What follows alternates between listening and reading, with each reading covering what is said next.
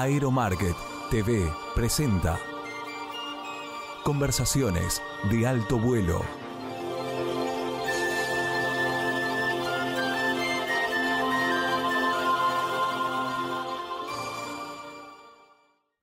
Buenas noches. Eh, bienvenidos a Conversaciones de alto vuelo. Antes de empezar esto que va a ser un debate sobre la instrucción para, y entrenamiento para pilotos, les voy a, hacer una pequeña introducción que tiene que ver con cosas que pasan en el momento. Nuestro país es un país que está azotado por la inflación. Hablamos de la inflación monetaria, pero hay una inflación que yo considero que es madre de la anterior y es la inflación de las normas. Permanentemente la burocracia elabora nuevas normas. Hoy tenemos la particularidad que sale en el boletín oficial una norma que reafirma una, norma anterior. Y esto es una anomalía. ¿eh? ¿Se entiende lo que quiero decir? Una norma de la norma es una anomalía, que quiere decir que no es una norma, digamos. ¿No es cierto? Esa es la, etimología de la palabra. Eh, la autoridad va a tener que tener mucho cuidado, va a tener que tomar eh, la precaución de no seguir aumentando la inflación de normas, porque es muy difícil controlar cuando hay tantas normas. Es más efectivo tener menos y hacerlas cumplir que tener muchas y que todos la evadan. Así que la recomendación de hoy para la autoridad aeronáutica es que preste atención y no se eh, fascine por estampar firmas en papeles y salir publicado en el boletín oficial. Y ahora empezamos a hablar del tema que nos convoca. Y el tema que nos convoca es la instrucción. Hay preocupación sobre la instrucción.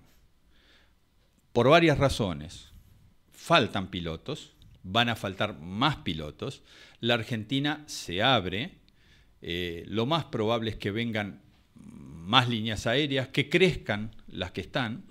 Hay versiones que dicen que JetSmart va a traer A321, un avión de última generación, 5 dice que van a traer, eh, la, la, información que yo tengo. Flybondi quiere traer más aviones.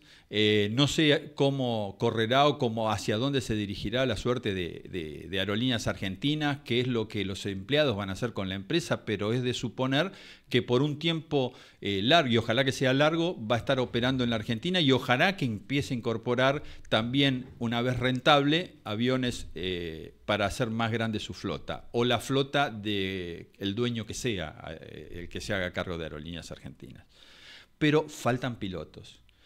Hay muchas escuelas de vuelo, no tantos pilotos en relación de las escuelas de vuelo, pero tengo tres expertos. Marcelo del Sastre es un instructor súper conocido en el ambiente aeronáutico. ¿Cuántos pilotos ha formado Marcelo? No, sería...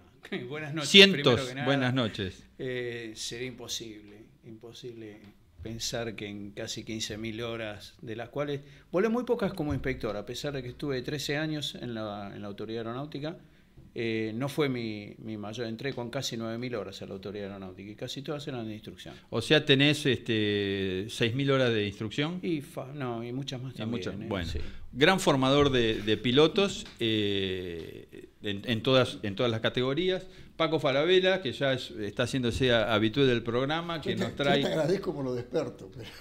No, no, me refería a ellos, digamos. Ah, también, Pero, este, no, Paco eh, está muy inquieto por el tema de, la instrucción, la falta de pilotos y la posibilidad de crecer en la profesión, eh, y, se está ocupando mucho de la profesión, y Yoli, Yolanda Fernández, abogada, experta en Derecho Aeronáutico, pero sobre todo nació prácticamente en una escuela, en una escuela teórica de vuelo de don Demetrio eh, Fernández, eh, a quien todos recordamos y aprovechamos de rendir un homenaje, y eh, conoce esto de todos los flancos, de cada una de las aristas. El programa es de ustedes, yo estoy acá para moderar y por ahí meter algún bocadillo. Dos cosas para meter un bocadillo. Primero, este, heredera de una gran, un gran emprendimiento. Yo fui uno de los que tuvo la suerte de inaugurar ese el edificio de Avellaneda en ETAP.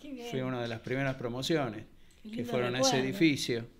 Eh, y segundo, eh, referirme a lo que a lo que vos hiciste eh, referencia cuando empezamos, que tiene que ver con la instrucción, esa inflación de normas. Y esa inflación de normas existe porque existen compartimientos estancos. En la ANAC nadie sabe lo que está haciendo el que está en el escritorio de al lado.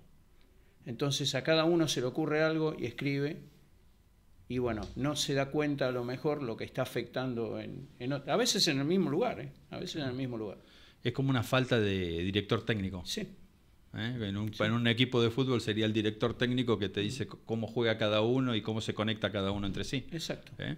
Eh, lo digo para mi hijo, que es un fanático de la, del fútbol y de los deportes, y a veces tiene mucho que ver los deportes. Paco o Jolie, el que quiera. No, la dama me parece bueno, Tiene más autoridad. Gracias, gracias Paco. Eh, primero, gracias por el recuerdo. Y segundo, bueno, sí, estamos todos preocupados para... Estamos preocupados y estamos ocupados. El tema es que nos acompañen en esto de estar ocupados, digamos así que nos acompañe la autoridad aeronáutica este, em, y que podamos avanzar en función de la situación actual que vos estás planteando. O sea, este, la formación de los pilotos ya no puede ser como hace 30 años. Ustedes citaban la escuela, cosa que agradezco, pero la escuela tiene 55 años. No podemos seguir dando los cursos como hace 55 años, ni como hace 30 años. Estamos hablando del siglo pasado. O sea, es gracioso porque vos incorporaste la virtualidad hace cuánto ya, cinco, y no, en, plena pandemia. En plena pandemia. En el 20, digamos, en el 2020. Pero, Yo te este, visitaba, ¿te acordás? decía, vamos, y algo hicimos juntos, digamos. sí, fuerza que me diste. Fue una, una dura pelea eso. Pero bueno, finalmente lo sacamos. Cuando vino la pandemia estaba. Sí, señor. Y, y, este y bueno y nada y después de la pandemia por suerte pudimos sostenerlo este y está funcionando bien porque es como se aprende hoy en día, eh, de manera virtual. No digo que sea exclusivamente virtual, pero eh, no podemos hacer todo un misterio de todo esto, como, no sé si van a decirlo después, del curso de radiooperador radiotelefonista restringido, que la ENACOM tampoco nos autoriza los cursos virtuales. Eh, entonces, tenemos que ayornarnos en todo sentido y tener en cuenta la demanda que, hay hoy en día de, de pilotos y la formación que tienen los pilotos, porque con todo lo que podemos criticarnos todos, los pilotos argentinos siguen teniendo una excelente formación. Sí. Entonces, bueno. Bueno, que eso no me cabe duda que tenemos una excelente formación. Es decir, pareceríamos que los pilotos tenemos algo innato con respecto a, nuestra sociedad. Pero, de todas maneras, el tema cuando surgió la 91-109 hizo que me movilizara y empezara a investigar ciertas cosas. Y dentro de las cosas que encontré, que en cinco años y medio tuvimos 80 accidentes en instrucción. Entonces, digo, bueno, y uno con un inspector de vuelo. Entonces, esto no es para cargarle culpas a nadie, cualquiera puede tener un incidente, pero, a ver, cuando volcamos las estadísticas y la, ponemos, la ponemos que está en, un, en, un, en cierto sector y vemos que hay de 366 accidentes en cinco años y medio, 80 son en la faceta de instrucción, algo está pasando. Pero no sobre todo eso. Gran parte de esos accidentes son dentro del circuito de tránsito. Los pilotos entran en pérdida en los virajes dentro del circuito y no lo saben recuperar. Es decir, tenemos que empezar a, ver la instrucción de otra manera. Todos sabemos lo que está en este ambiente. La vez pasada un piloto en la frecuencia diciéndole al control se me apagó el satelital, ¿qué hago? Digo, a mí me parece directamente decir, muchachos, empecemos de nuevo, barajemos de nuevo, repartamos las cartas porque algo tenemos que hacer.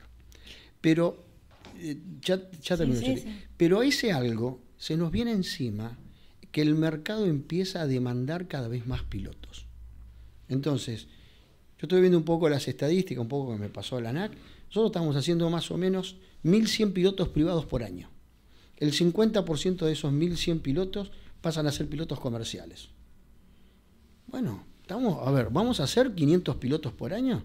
Este, y muchos que quedan en el camino por otros motivos, muchos no van a la línea, muchos no llegan después a la comercial de primera para entrar a, la línea. Muchos no quieren ir a la línea. Y muchos no quieren ir a la línea, tenés razón. Y hoy nos encontramos, hoy mismo ya, que en lo que es la aviación general, que es la aviación ejecutiva, no hay pilotos entre 20 y 45 años con experiencia. Choli. ¿Y vas a decir algo? Eh, no, es un, es un, comentario porque va, más allá de, todo esto, y disculpen, pero A, nosotros hablamos de los pilotos privados. Yo, yo iría un paso más atrás, lo he dicho, lo he escrito, por eso puedo decirlo, que tiene que ver con la formación de los instructores porque uno dice, ay, los pilotos, los pilotos este, eh, tienen accidentes en, el en, instrucción, pero tienen un instructor y lo grave de los instructores no es que eh, que eh, los instructores son unos locos que se ponen. No, es que ellos creen que saben y la realidad es que no saben. Pero ¿por qué no saben? Porque y esto lo, está escrito por la UASI. Nosotros, los pilotos, tienen que saber por qué se hacen las cosas, pero eso lo pueden, perdón, eh, qué cosas hay que hacer, pero eso lo pueden leer, pero tienen que saber por qué, porque en una situación crítica ellos tienen que saber por qué se hacen las cosas y de esa manera resolverlo. Ahora, si vos a un instructor lo vas a formar dándole una serie de, de material para que lea y te dé una clasecita y con eso lo aprobaste, no está formando un instructor adecuado. Y para mí ese es un punto de partida. Y aunque les parezca mentira, el, de, curso de piloto privado. Hay, hay una debilidad en los instructores. Y acá tenemos un instructor que nos dice... Y dos cosas que dijeron ellos y que, y que se pueden juntar perfectamente. Eh, los alumnos entran en pérdida en el circuito de tránsito y practican muchas pérdidas en la zona de trabajo. De todas maneras posible. Ahora nadie les explica para qué se practican esas pérdidas. ¿Para qué se practica esa recuperación? Una pérdida en viraje es algo clásico, por ejemplo, de una entrada en básica con el viento de cola. Entonces se les viene la pista encima y empiezan a escarpar, escarpar, y nadie les dijo, che, te aumenta el factor de carga, te va a aumentar la velocidad, te va a aumentar la velocidad de pérdida. Fíjate en esto. O sea, van y hacen algo. A mí me pasaba, yo les decía, che, ¿y por qué hacemos esto? Ah, no sé, les salía bárbaro, pero no sabían por qué. Y otra cosa que dice Yolanda, que también quiero tomar, son los programas, los programas escritos en piedra que tenemos. Ahora, en el caso particular, no, y en piedra porque no se puede mover. Este, eh, el caso particular del programa de instructor de vuelo, conozco dos escuelas, una justamente, que lo dan. El programa de instructor de vuelo fue reformado en el año 2006 y ya es viejo, estamos hablando de casi 20 años, eh, donde se le eh, introdujeron materias pedagógicas. Ya un viejo pedagogo, Paulo Freire, decía que, primero que nada, no se puede enseñar lo que no se sabe, pero a enseñar también hay que saber. Claro. Las dos cosas.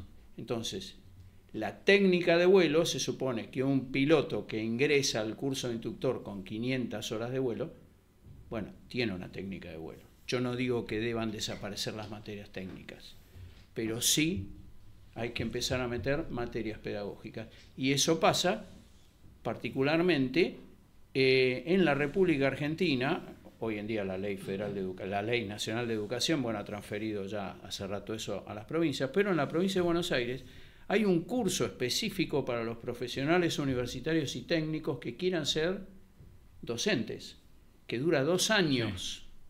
O sea, además de ser ingeniero, además de ser médico, además de ser lo que seas, tenés que hacer ese curso si querés ir a enseñar a una escuela secundaria o a la universidad. Entonces, ¿por qué eso no pasa en la aviación? ¿Por qué el curso de instructor es un cursito de 500 horas de las cuales le volvemos a repetir aerodinámica, le volvemos a repetir navegación, le volvemos a repetir reglamento y, poca y no le enseñamos a pararse delante de un pizarrón. No, pero perdón Marcelo, el programa que está vigente ahora, por lo menos en nuestra escuela y en el INAC, porque no está, hasta donde sé, no está unificado, justamente tiene muchas materias este, Por eso digo, conozco dos escuelas, ah. tres, me olvidé del INAC, perdón. Este, que dan el curso con, este programa, que damos el curso con este programa. Pero hay algunas que, que tienen mucha carga horaria sobre materias pedagógicas, pero sin a quedarnos exclusivamente en esto. Por ejemplo, a mí hay un tema que nosotros tratamos de hacer... Perdóname, te hago una pregunta acá. Sí. Eh, eh, ¿Hay escuelas que lo dan y hay escuelas que no lo dan para ser instructor en este momento? Y ahí forma, ahí aparecen los compartimentos estancos. Ah. Como puede ser que no controlemos eso que es básico, que alguien está trabajando con un programa del año 95 y otro con un programa del 2006. ¿Puedo, ¿puedo acotar algo? ¿Vos habías terminado? Solo terminar esto, que una de las cuestiones que nosotros trabajamos con el curso de instructor es la evaluación por ejemplo, más allá del programa de la ANAC, digamos, lo que nosotros damos, es la evaluación. Si vos tenés que evaluar, tenés que evaluar qué es lo que sabe. ¿Te importa que te diga, que te recite, lo que, o te importa que sepa cómo transmitirlo? Por ejemplo, entre otras tantas cosas. Entonces, por ejemplo, el tema de la evaluación, ¿cómo puede ser que en el programa, que nosotros lo damos, eh, lo damos no, no, no hay ningún punto que hable del MIP? O sea, vos sacás instructores que no tienen ni idea de lo que es un MIP, supuestamente. Entonces, hay una serie de cosas que hay que allanarlo y hay que considerar qué es lo que se demanda para esto, para este tipo de funciones hoy en día. La aviación en estos ciento y pico de años que tiene avanzó a paso vertiginoso. Y, cada vez los más programas y los programas de instrucción avanzan a paso de tortuga. Lo que dimos el año pasado es viejo. Ahora sí, para reformarlo tenemos una burocracia terrible. Eh, yo creo que va más allá de la burocracia. Y te voy a dar un dato. Cuando vuelvo de nuevo a la, a la 109 porque la 109 partió de un problema de instrucción. Se quiso imponer el tema del simulador arriba de los 5.700. Ah, sí. Cuando fui a las estadísticas. Eh, la 109 es una reglamentación que se intentó poner el año pasado, que está suspendida, por ahora o derogada. sí, creo que derogada. A ver, fueron, hicieron hincapié en 12 accidentes en 5 años y medio, en vez de resolver 80. Entonces, estadísticamente irrelevante. Es irrelevante. Entonces, cuando ves que están preocupados por eso, en vez de los 80, este, hay un problema estanco. Es decir, el de al lado no le preguntó, che, ¿qué problema tenemos acá? Nada. Cada uno se manejó por la suya. es decir, eh, sin supongamos que no hay ninguna suspicacia en el medio. Pero, digo yo, hay que buscar un sistema distinto. A ver, el, mercado, el sistema nos pasó por arriba. Estamos, como decís, estamos explicando cómo volar como en la década del 40. Cuando yo hice el curso de, piloto privado, eran 40 horas. Las primeras 10 horas te enseñaban a, volar. Las otras 30 vivías en emergencia. Y 10 de ellas volaba solo. Yo creo que hoy eso no existe. Yo conozco pilotos privados que han salido, no han volado nunca solo. Y aterrizar en planeo, no los conozco, prácticamente. Yo no sé cómo hacen las escuelas en Morón, por ejemplo, que debe haber 20 escuelas que deben tener 50 tipos en el circuito y uno quiere hacer un 360. Ahí tenés otra, otra, otra cosa. Hablando el otro día con, un grupo de alumnos que, que, en realidad están haciendo otro curso en este momento, pero hablábamos, hablábamos justamente de esa materia, de esa maniobra, y les decía, bueno, ¿para qué haces un 360? ¿Por qué en la cabecera 2-0 lo haces según corresponde con los virajes hacia la derecha, hacia el lado del circuito? Y no tenía ni idea, le digo, ¿no te das cuenta que cuando giras a la derecha perdés de vista el campo? ¿Para qué te sirve practicar esa maniobra de esa manera? Ahora, el problema que no lo sepa el alumno es una cosa, que no lo sepa el instructor es el problema. Ahora, hay, hay, acá también se ha desvirtuado un poco y no hay forma por ahí de controlarlo porque vivimos en libertad y está muy bien, pero eh, el, ser instructor ha pasado de, una, de ser una vocación a ser un método para acumular horas de vuelo. ¿Es así o no es así? Eso fue siempre así. ¿No es así? Sí. Eso fue. Se rieron, se rieron muchos de mí cuando después que terminamos la comercial, en el clásico asado, cuando estamos todos, ¿usted qué va a hacer? ¿Usted qué va a hacer? ¿Usted qué va a hacer? Yo quiero ser instructor y me miraron todos. Claro, en esa época el Jumbo 200 era el icono al que apuntábamos todos.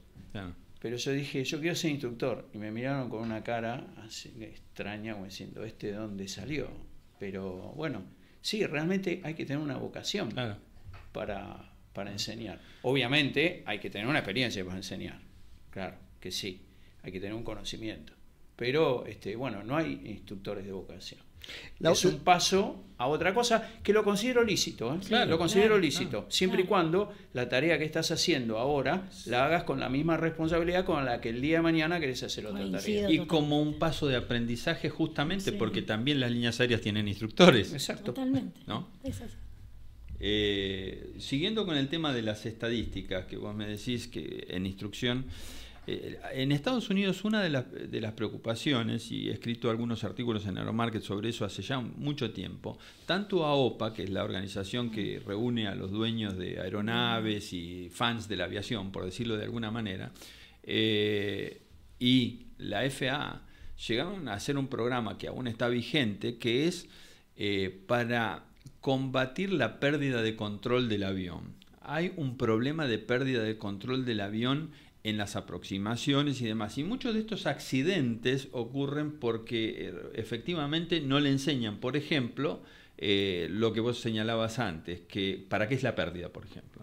Entonces, hay una serie de campañas. hay que reforzar por qué lado. ¿Por qué lado hay que reforzar? Criticamos, está bien, me parece bien. Él, dijo algo, él dijo algo que está muy interesante, es para estudiarlo. Que hay que innovar, digamos, sería la pregunta. Bueno, lo que, bueno, déjame que voy quiero, quiero arrancar por él dijo, él dijo algo que me, interesó mucho. Vos podés tener vocación, pero la vocación te perfecciona. Porque, porque cuando vos tenés vocación de algo, vos tenés interés en algo. Ahora, si vos no tenés vocación para dar instrucción, es subir a dar una vuelta con el alumno.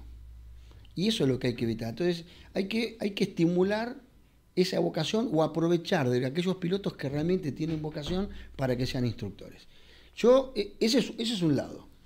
Y el otro lado es em, elevar la capacidad técnica de los pilotos.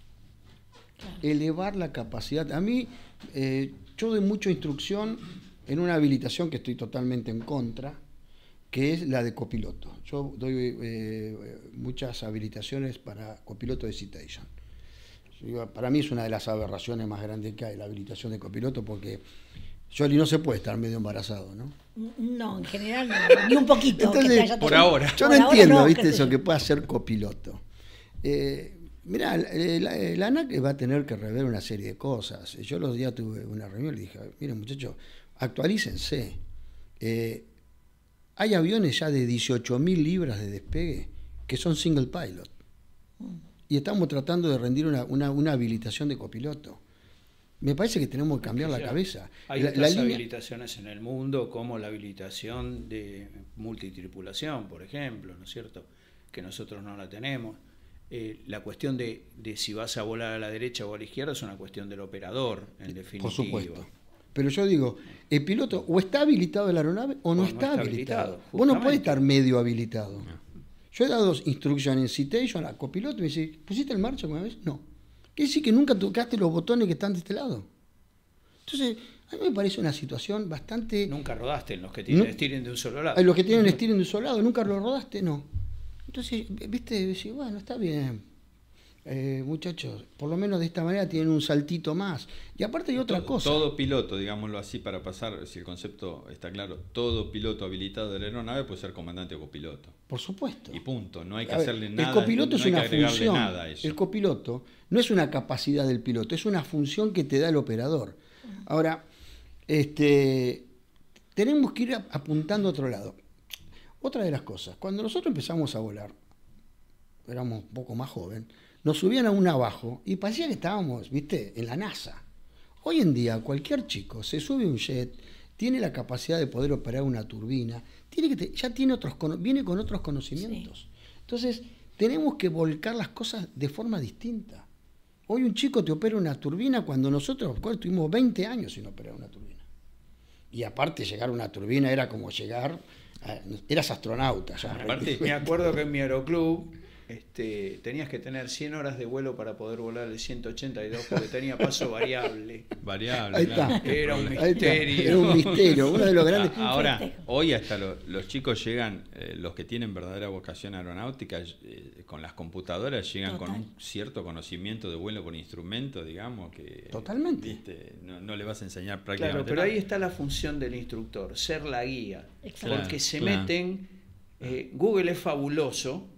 Siempre y cuando sepas qué es lo que estás buscando. No, no, pero inclusive no solamente Google, sino que compras programas. me refiero a Google como algo. Hay tipos que tienen cabina, digamos, que son la cabina del A321, digamos. siempre y cuando le digas por qué tocas el botón A y no el botón B en este momento. Entonces, tiene que estar atrás la figura del instructor como una guía, no ya como copiame a mí. Como decía eh, Philippe Meriel, Frankenstein educador, quiero sacar un monstruo igual a mí, ¿no? Este... Eh, lo, que, lo que es interesante y está rondando, me parece, alrededor de lo que vos dijiste hoy, eh, o se dijo en esta mesa, el mundo tiene una dinámica, el mundo está cambiando que no podemos, no podemos dar vigencia por demasiado tiempo a las normas que vamos implementando. Esa es una. La segunda, en la aviación, la verdad que hay poco por inventar en eh, qué quiero decir, porque hay países, lamentablemente, que hoy están mucho más avanzados que la Argentina, a donde podemos mirar y decir, ah, mira cómo están haciendo las cosas por acá. Y mira la aviación pujante que tienen. ¿Por qué voy a inventar yo algo? En todo caso, lo tengo que adaptar a una realidad eh, económica, política, social de mi país, etc. Pero estos tipos lo están haciendo bien, están creciendo en aviación, tienen menos accidentes, que son las eh, cifras. Airbus discutió el año pasado el, a ver si volaban single pilot en, 121, ah. en la línea aérea. Y ASA le dijo, miren, dejémoslo acá esto por ahora, vamos a ver cómo sigue para adelante. En cualquier momento nos vamos a encontrar con que se va a poder volar con un solo piloto. Y no quiero pensar a lo mejor dentro de 15 años que los comandantes estén todos en un salón dice, señor comandante, vaya allá al BOC 4 a supervisar cómo va el 737 que aproxima en Córdoba. Y hay un solo piloto arriba. Puede pasar todo esto. Puede pasar porque hoy tenemos una guerra donde está toda eh, manejada por drones. ¿Por qué no nuestra, nuestro mercado el día de mañana puede llegar a ser eso? Bueno, fíjate que una este, conocida escuela de drones, una de las más importantes acá en la República Argentina, tuvo un proyecto para intentar hacer cruzar la cordillera con un 150, guiado remotamente, y tropezó contra la toda la burocracia y por haber, y bueno, tuvieron que desistir del proyecto, ¿no? Este, bueno, bueno. O sea que seguimos, eh, tenemos capacidad técnica eh, sobredimensionada. Ese no es este el hombre. Porque el hombre normal te va a decir que cruce. Ahora, los organismos que forman algunos hombres te dicen que no. Entonces, hay un problema de corporación dentro de los, de los mismos organismos, del mismo sistema, que bueno, hay que hay que ir a romperlos. Y a veces Porque si no, no crecemos. Y a veces son gente que no vuela, que toman decisiones. En un escritorio. Y lo que es peor, hay gente que vuela, que toma decisiones. Vos utilizaste la palabra suspicacia, ¿no? que despierta a veces suspicacia por las, las eh, normas y las pretensiones que tienen. ¿no? Eh, vos ibas a decir algo, me parece. Yo no, yo eh, tal vez lo que voy a decir no es políticamente correcto, pero... De eso me gusta. Te gusta, pero no sé. yo lo que digo es que acá la realidad es que a ver cómo lo digo. Eh, hay, eh, la autoridad, yo tengo un principio que me gusta, yo siempre digo que yo trabajo con la autoridad aeronáutica y no en contra de la autoridad aeronáutica, como principio de trabajo. Bien, asumo que la, asumo que la autoridad aeronáutica está para colaborar o para coadyuvar y controlar y todo lo demás, por ejemplo, en este caso, la actividad aérea. Dicho esto, yo digo, tenemos también que tener internamente los, las, las escuelas, las empresas, hacer un mea culpa. ¿Por qué? Porque todos hablamos todo lo que decimos y todos estamos de acuerdo. Pero, por ejemplo, el curso de piloto privado, y no quiero derivar en, en otra cosa que sea más discusión y más discusión, pero el curso de piloto privado hay una gran resistencia para el curso de piloto privado, pero piensen que en este momento, con la aviación que está, con los espacios aéreos, con, los, con la complicación, que hay gente que vuela, ponele 40, 50 horas, sin tener idea de por qué vuela un avión. Y no me digan que tiene que rendir el teórico, porque rinde el teórico, porque los chicos lo que está diciendo es que al, al, vuelo que está haciendo le está faltando una pata teórica imprescindible. Definitivamente, definitivamente. Y además que, que, el alumno, el piloto, el que quiere ser piloto, que, que tenga conciencia de que está metiéndose en una actividad, primero donde en el espacio aéreo estamos todos, por decirlo de alguna manera. Entonces no es que, ay, a mí una persona me dijo, no, pero hay que tener en cuenta que el piloto privado, eh, eh, tener como referencia que el piloto privado del aeroclub del interior eh, es como si fuera... Eh, eh, el comerciante más importante del pueblo y a ese no le podés decir que haga un curso. Y yo digo, pero si le vas a dar un avión, si le vas a dar instrucción, ¿cómo le vas a enseñar mínimamente por qué vuela ese avión? Yo, vengo, yo vengo del aeroclub. argumento pueril. Yo, yo, vengo de un aeroclub y te voy a contar algo. Normalmente en el aeroclub el fin de semana viene el señor que está lindo el sol, vamos al aeroclub, vamos, vamos a dar una vuelta, qué sé yo. Y hay algunos que se enganchan. Viste, che, ah, mira, voy a hacer el curso, sí, que tengo que hacer, bueno, andá, el psicofísico. Dice, bueno, andá a hacer un curso teórico ahora. Si el instructor que está ahí lo puede instruir perfectamente y después el señor puede dar libros, lo que sea, pues le generás un movimiento al mercado un poco distinto. No digo que no estudie no digo que no, no, no se, se instruya. Ahora, si el instructor está bien instruido, si el instructor tiene vocación para hacer lo que tiene que hacer, ese piloto va a salir bien instruido. Pero ¿cuántos aeroclubes tienen un instructor que pueda ocuparse de dar la parte teórica si a ese instructor le pagan por dar las horas de vuelo? Bueno, es un problema de mercado. Bueno, pero por eso digo, pero ¿por qué? Por qué eh, primero, ¿por qué el instructor, eh, la institución, aeroclub, escuela de vuelo, lo que fuera, no te, este, no coachuva a la, no, no, no, no les hace tomar conciencia de la necesidad de los conocimientos. Después discutimos cómo lo adquiere. La necesidad de adquirir conocimientos teóricos. No, existe mucha, este, eh, ¿cómo diría? Un cierto hasta desprecio de los contenidos teóricos. Porque, no, porque el instructor le va a enseñar. Yo te digo una cosa, este, sinceramente, Paco, eh, yo a veces me pregunto, yo conseguir un profesor de aerodinámica, un buen profesor de aerodinámica, me cuesta trabajo.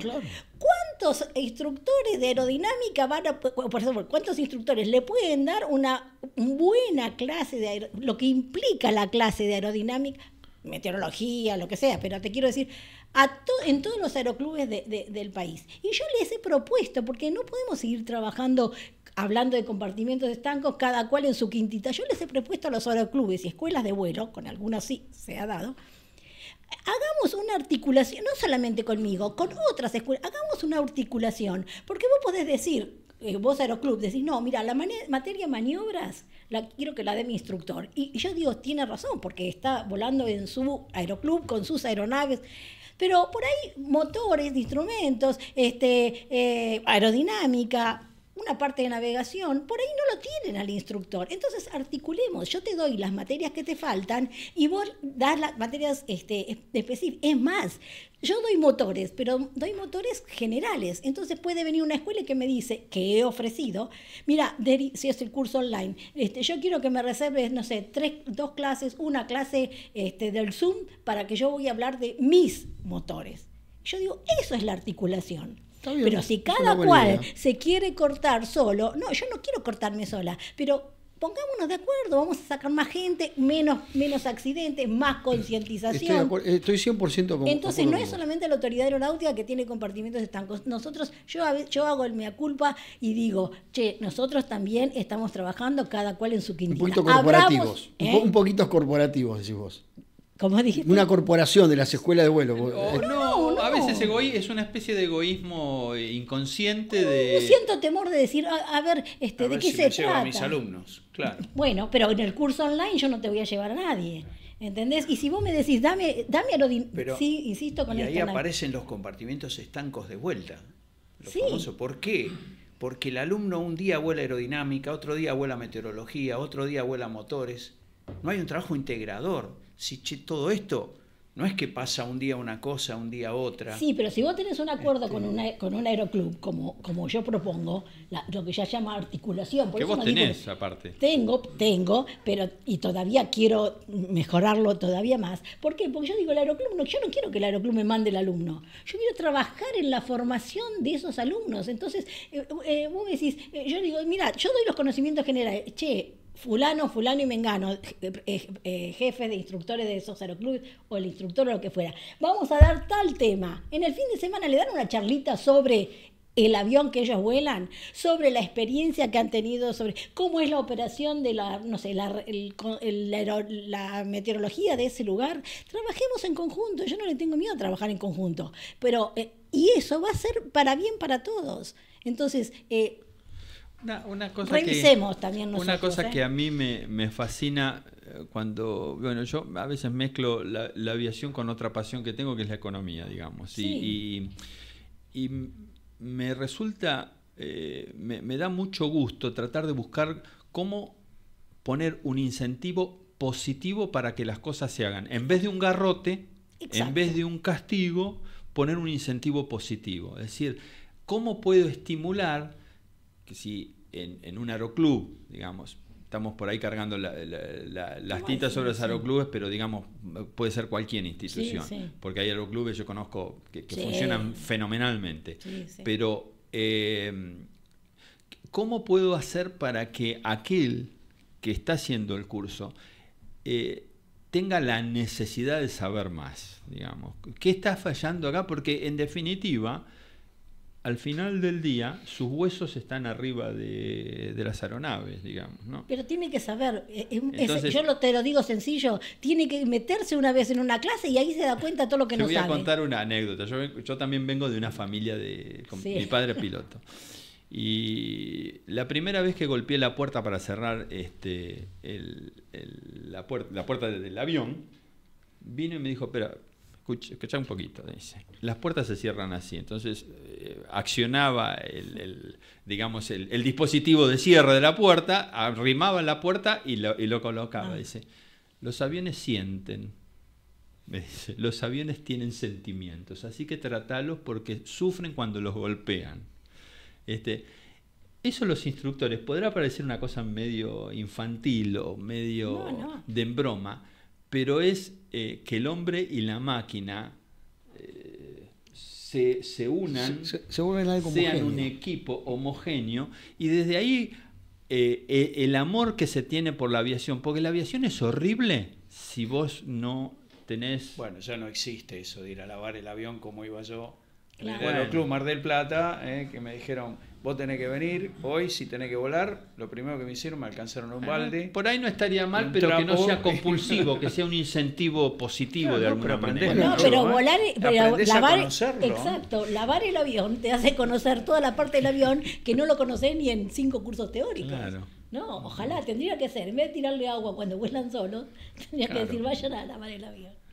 Sí, pero hoy está evolucionada la juventud de otra manera. Este, ya lo sé, hay, hay, una juventud muy distinta, hay una juventud que uno les puede explicar a un y te terminan explicando otras ellos. es decir, los que tenemos hijos de entre 20 y 25 años nos encontramos con otra, con otra, hay otra juventud. Es verdad, Y nos tenemos que adecuar a esa juventud que tienen conocimientos mucho más em, dinámicos que los que teníamos nosotros a su edad. Entonces, Creo que hay que adaptar todo eso a una forma de instrucción muy distinta.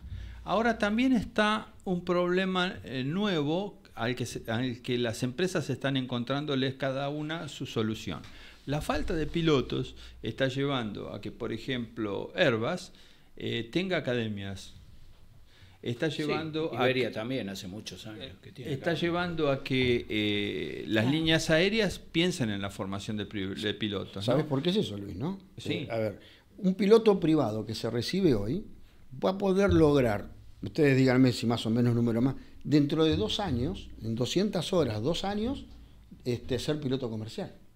Si ese piloto continúa y es instructor va a tardar otros dos años en ser instructor poner y que lo haga, como decimos nosotros, para juntar horas.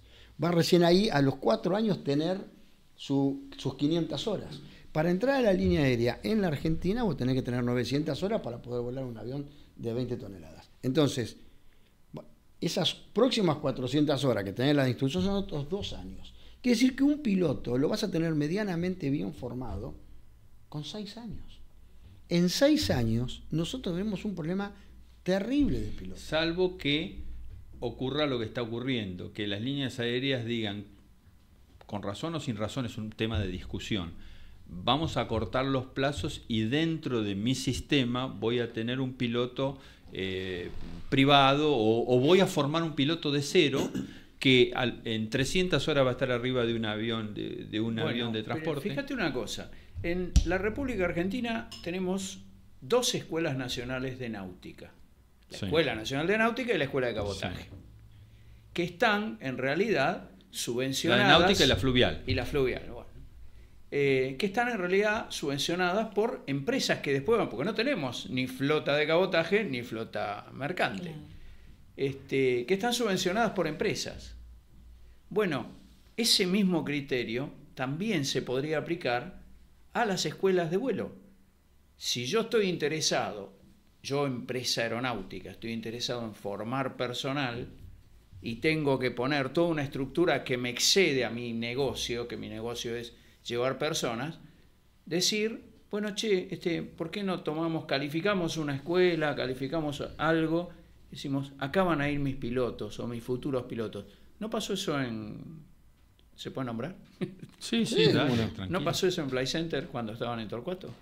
¿Con Sí. Lamperú? Sí, Sí. con Lamperú. Nosotros le dimos la parte teórica Bueno, cuando fueron. Entonces, ¿por qué una, una empresa o una sede de una empresa que opera en varios países, una sede que no operaba acá, trajo sus postulantes acá y los mandó a formar acá?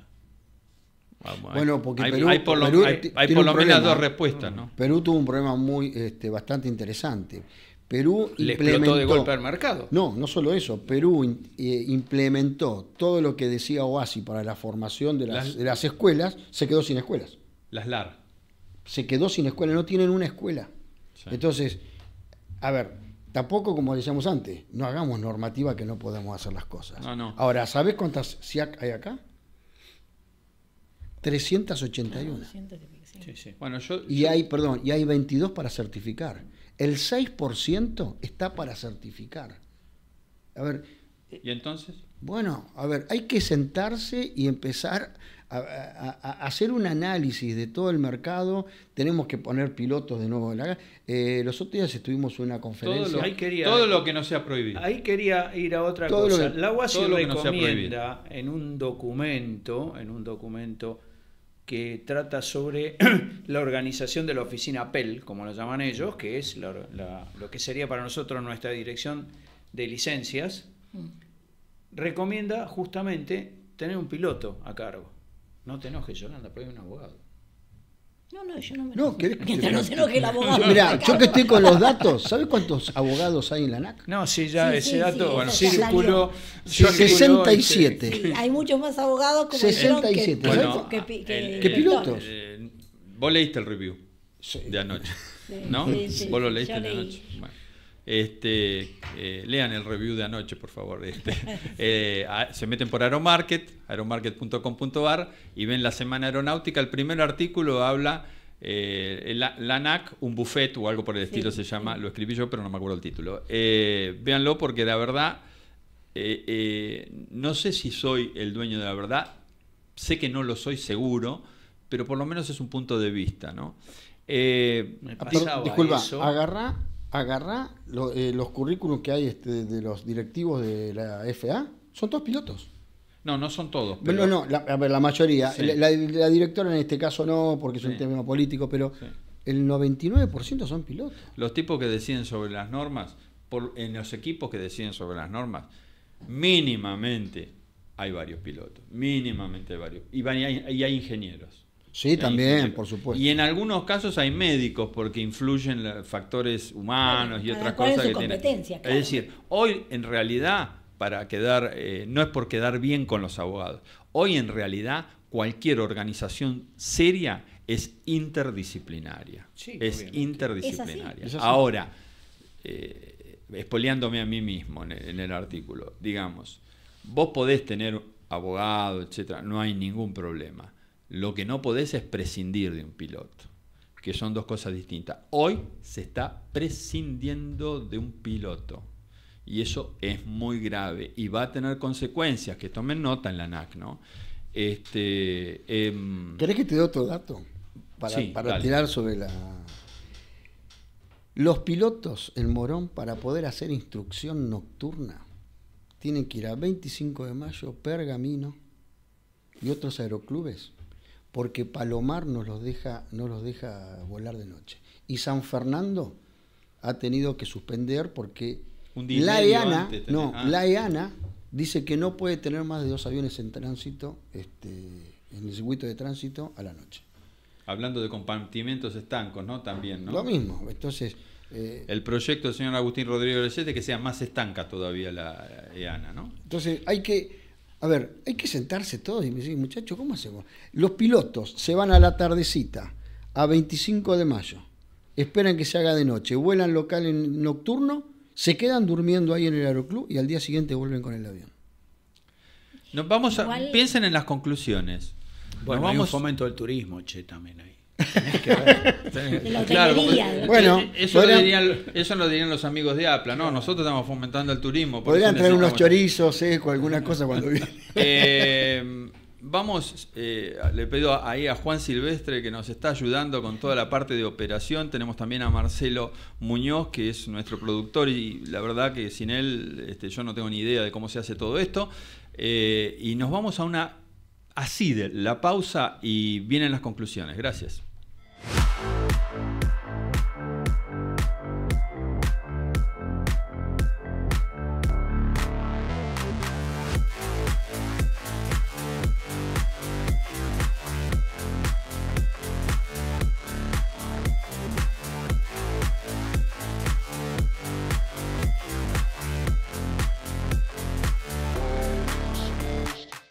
Antes de las conclusiones, digamos, porque cuando en 30 segundos acá esta gente, bueno, dicen, muchas cosas. Saben tanto que el tema del foliado, digamos, que es un tema, el tema de la semana, es un escándalo. Es un escándalo. Es un escándalo. Realmente, me viene a la mente, cada, vez que leo eh, alguien que me manda una protesta, me viene a la mente Fontana, Fontana. Bueno, ahí está, eso es un hecho. A ver, un día te encontrás con una cosa, viene eh, el denso, viene el... De, dice, ¿qué, es esto?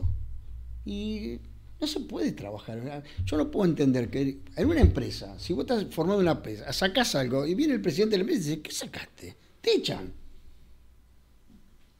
Ahora hicieron un sistema que quieren que sea virtual, tenés que escanear todo el libro de vuelo con los historiales y después te van a decir cuándo eh, si está foliado. Imagínate que tenés che, la semana que viene tenés que rendir la, de, la piloto comercial. Vos empezás a mandar ahora y digo, mira, para noviembre, mejor enero consigo el Perdona, Es el único país donde eh, la era digital complica las cosas. Yo no sé, es una cosa, mejor hacerlo a mano. Le dijeron hace poco a, un, a uno de mis clientes, yo construyo MIPS para las escuelas, eh, le dijeron, mira, esto lo vamos a tratar dentro de seis meses. Y mientras tanto, ¿qué?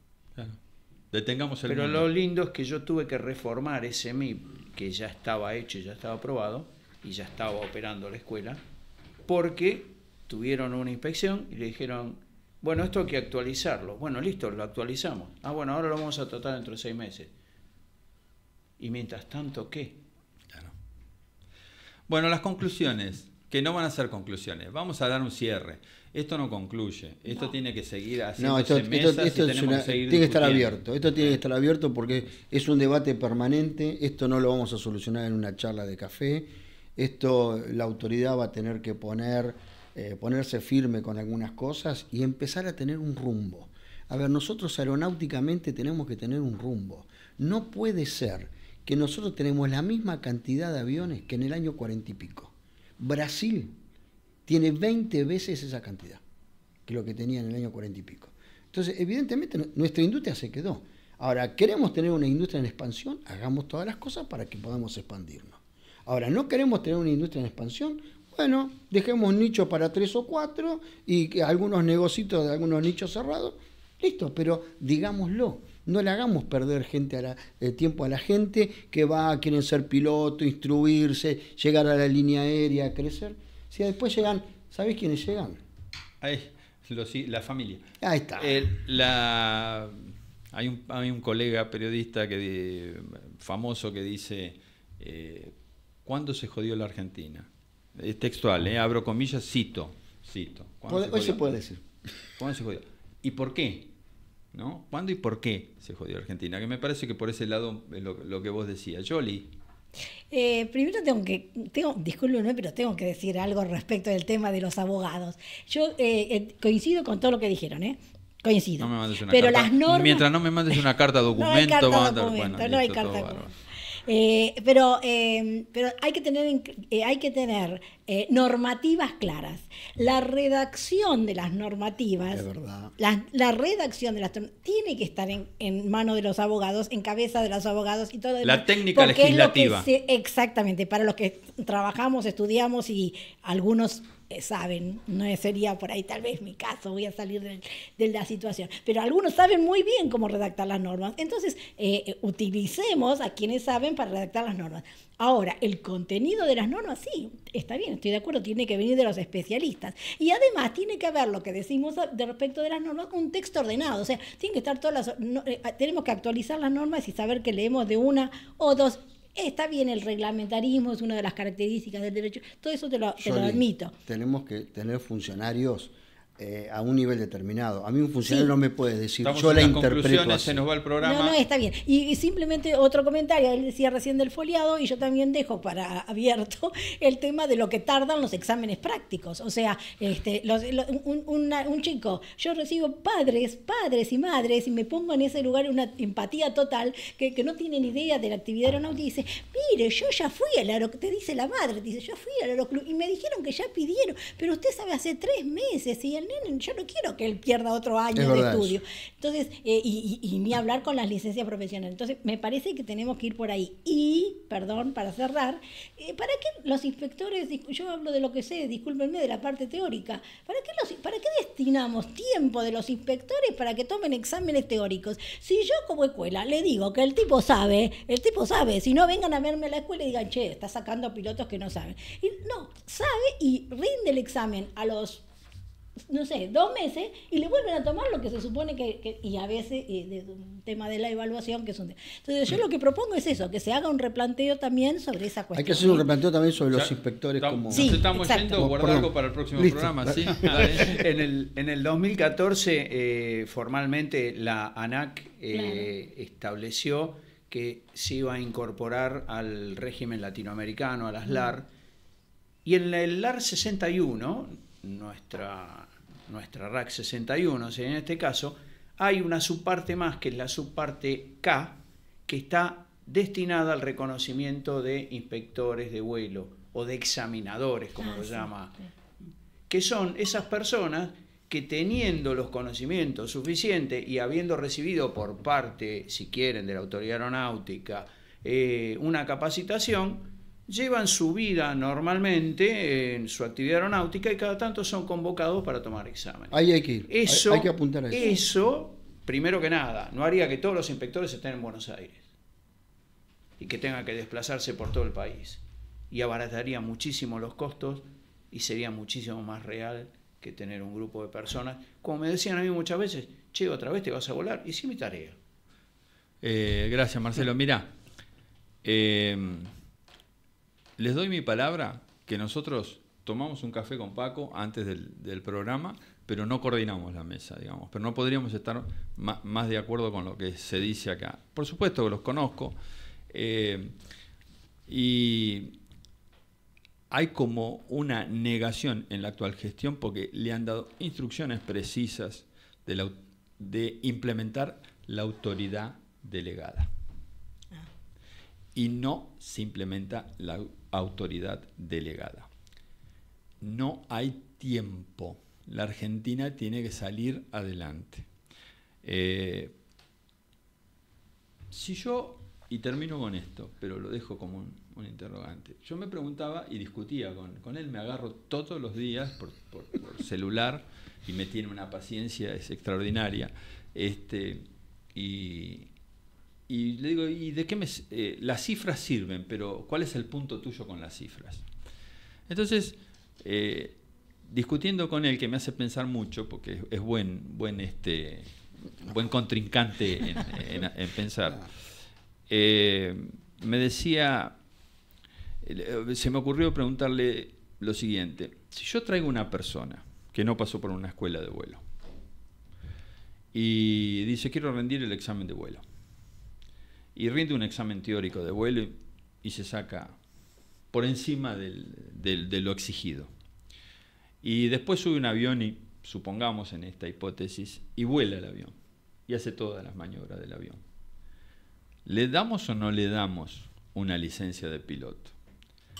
Eh, en mi opinión se le tiene que dar la licencia de piloto hay gente que ingresan en las universidades en países sin haber pasado por la escuela primaria y secundaria. Simplemente cuando ingresan rinden un examen donde prueban que están en capacidad de cursar esa, esa carrera. Que por otra parte, además, esa misma carrera puede estar desapareciendo, digamos, porque es lo que está pasando en el mundo. Lo que quiero decir es, eh, señores, pongámosle sentido común a las cosas. Pongámosle sentido común. Hay necesidades, eh, tenemos que generar pilotos y tenemos que hacerlo por encima de todo eso con seguridad. Pero tenemos mientras esto, mientras y mientras está eh, mientras tengamos eso bien claro, creo que vamos a avanzar rápidamente. Y lo de los incentivos, eh, los incentivos positivos. Y en la próxima me contás lo que ibas a decir. Tenemos que salir de acá. Nos vamos.